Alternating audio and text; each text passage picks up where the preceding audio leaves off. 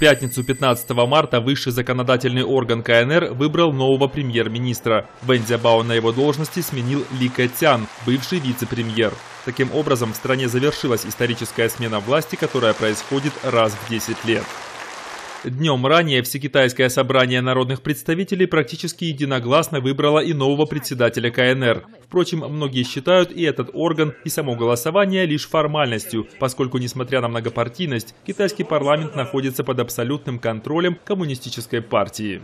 Как и ожидалось, президентом стал Си Цзиньпин, которого также назначили главой Центральной военной комиссии. За проголосовало 99,86% делегатов. Заместителем Си Цзиньпина был избран Ли Юанчао. Как и Си, он является сыном высшего партийного руководителя. Кроме этого, он принадлежит к негласной партийной фракции уходящего лидера Компартии Ху Цзиньтао. Его избрание показало, что вторая могущественная фракция партийных консерваторов во главе с Дзян Цзиминем постепенно теряет свои властные позиции.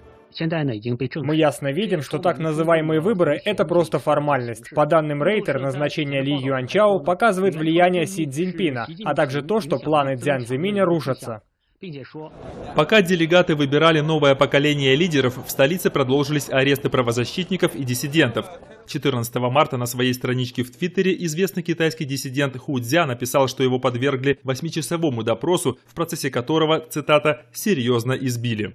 Он также выложил фото ссадин на голове. Как предполагает активист, его задержали за недавнюю критику в адрес Си Цзиньпина и других высокопоставленных чиновников.